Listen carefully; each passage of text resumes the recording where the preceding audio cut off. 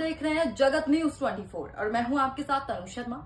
आइए नज़र डालते हैं आज की बड़ी खबरों की ओर।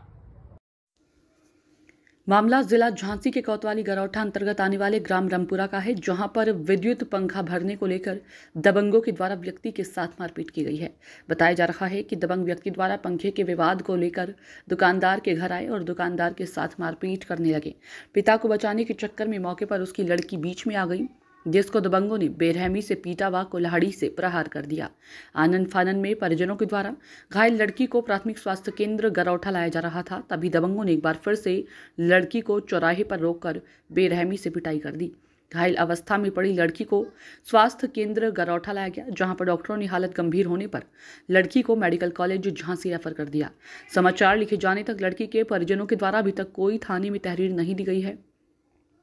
वहीं पुलिस का कहना है कि तहरीर आने पर आरोपियों के खिलाफ कानूनी कार्रवाई अमल में लाई जाएगी। फ़िलहाल उपरोक्त घटना से गरौठा में कानून का खौफ समाप्त होता जा रहा है। देखिए अनिल कुमार शर्मा की रिपोर्ट।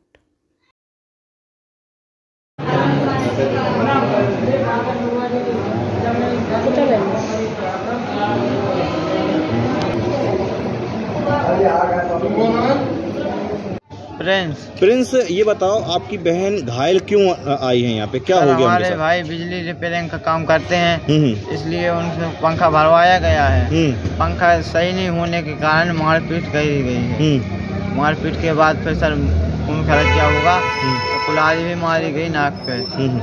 ये तो बहन के साथ क्यों मारपीट की गई? बहन बीच में आ गई थी पापा को मार रहे थे ये लोग। पापा को मार रहे थे? हाँ। क्या कह रहे थे? गालियाँ नहीं दे रहे थे। क्या? बोले तुम्हारे भैया कहाँ है? भैया गए थे लेटरिंग हम्म। तो गालियाँ नहीं देने लगे मारने लगे। हम्म। उतने में चाचा आ गए चाचा को भी इनने बहुत मारा। हम्म, फिर आके इनने पुल पे भी बहुत मारा हम लोगों को।